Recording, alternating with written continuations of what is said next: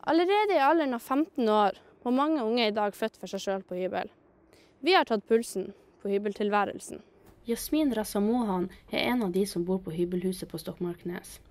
Mange tror hybelboere lever på Grandiosa, i motsetning til henne. Det er så vil jeg ikke kalle meg en typisk hybelboer, for at jeg tror jeg spiste sånn eh, kjøpt pizza to eller tre ganger på hybelen på ett og et halvt år nå.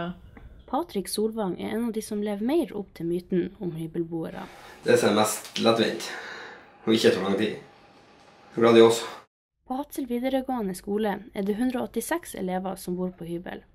For noen er overgangen når det gjelder å få gjort skolearbeid, vanskelig. Ja, jeg er flink til å gjøre lekser, men vi har ikke sånne spesielle lekser vi må gjøre til hver dag. Det er mer sånn som går over en lengre periode. Så jeg gjør vel sånn lekser hver dag, da. Nei, jeg er ikke flink til å gjøre leksene mine. Når jeg var hjemme, så hadde noen skulle hjelpe meg med leksene. En annen myte er at hybelboere blir oversvømt i rot og hybelkaniner. Dette er ikke et problem for hun Jasmin. Jeg er flink når det ser sjelden ut, så tar jeg det. Når jeg føler det sjelden, i hvert fall.